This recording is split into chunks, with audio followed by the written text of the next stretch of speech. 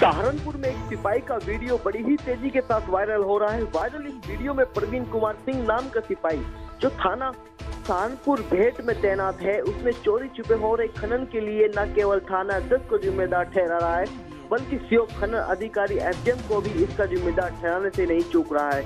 इतना ही नहीं, थाना अध्यक्ष पर बिना परमिशन के हो रहे खनन के एव में उगाही करने का आरोप लगा रहा है। देखिए इस वीडियो को क्या कह रहे हैं प्रवीण।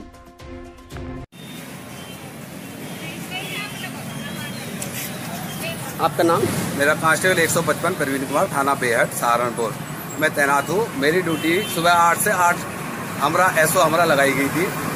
उससे पहले पूर्व में ये ट्रैक्टर मैंने पकड़ा था, ये मौके से भाग गया था। आज फिर दोबारा ओवरलोड, बिना टैक्स पेड परमिशन के ये रोड पे उतरे हुए जबकि टैक्स पेड बिना एक भी ट्रैक्टर रोड पे चलने की परमिशन नहीं है। उच्च अधिकारी और मुख्यमंत्री के आदेश के बावजूद सीओ और एसडीएम, खनन अधिकारी एक भी दिन सदर बेहट क्षेत्र में मिर्जापुर क्षेत्र में खनन रोकने के लिए नहीं आए। इसके अखबार में बार बार प्रकाशित होने के बाद व्हाट्सएप पर प्रकाशित होने के बाद कोई कार्रवाई नहीं हो रही। अवैध रूप से खनन जारी है। लिहाजा ये है इसमें देख, देखने की बात यह है कि कल घटना ये हुई थी काटा कराने के बाद भारतीय दरोगा भारतीय दरोगा जी ने इनसे पिचासी हज़ार रुपए की उगाई करी। और उसके बाद मेरे से इंस्पेक्टर साहब कह रहे हैं, अगर तूने ट्रैक्टर रोका तो तुझे जेल भेज दूँगा, इसी थाने से जेल भेजूँगा। जब मैं मुख्यमंत्री के आदेश का पालन कर रहा हूँ, कर्तव्य निष्ठा से पालन कर रहा हूँ तो मेरे साथ ये अभद्र व्यवहार क्यों? इससे पूर्व भी मेरे खिलाफ एस ने मुझे जान से मारने की धमकी दे रखी है, उसकी जाँच प्रचलित है। उससे पूर्व भी मैं सदर बाज़ार में थाने में तैनात था। दस जो अवैध खनन के ट्रक मेरे द्वारा पकड़े गए थे, उन पे भी ले दे के इन्होंने कार्रवाई कर दी गई थी।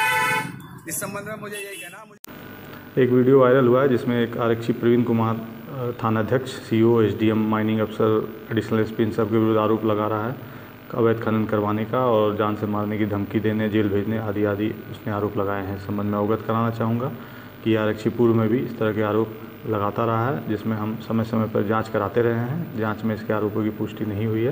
पुनः मैंने इस प्रकरण में जाँच के आदेश दिए गए हैं। जहाँ तक अवैध खनन के आरोपों का संबंध है संबंध में अवगत कराना चाहूँगा कि पुलिस के सीमित अधिकार हैं और सीमित अधिकारों के दायरों पे, दायरे में रहते हुए हम लोगों ने इसमें बड़ी कार्रवाई की है। हाल ही में खनन माफिया के विरुद्ध गैंगस्टर कायम करके जेल भेजा गया है और आगे भी हम इस तरह की कार्रवाई अपने सीमित अधिकारों के दायरे में करते रहेंगे। धन्यवाद। अगर आपने हमारे यूट्यूब चैनल को अब तक सब्सक्राइब नहीं किया है तो आपको यहाँ सब्सक्राइब बटन दिख रहा है, इस पर आप क्लिक कीजिए और हमें सब्सक्राइब कर लीजिए। और साथ ही साथ इसके सामने एक नोटिफिकेशन बेल आ रहा है, इसे भी आप